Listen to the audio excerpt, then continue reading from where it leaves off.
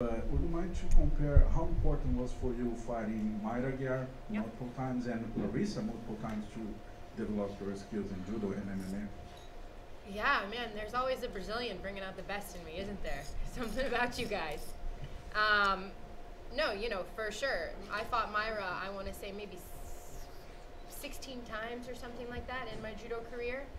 Um, and every time, you know, it's it's funny how sometimes you fight you fight to your level, right? Whatever you're faced with, sometimes you fight to that level. Like if you fight someone maybe with not as good skills as you, sometimes you don't perform as good as you can.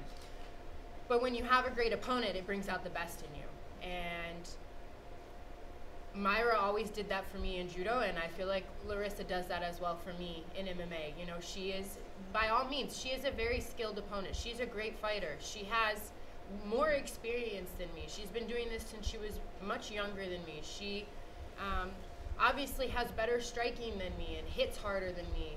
Uh, she's a black belt. She has uh, excellent submission defense. She's she's the toughest person I've ever faced, and I'm grateful for that because it gets it gives me the opportunity to dig deep and to figure out a way to win again.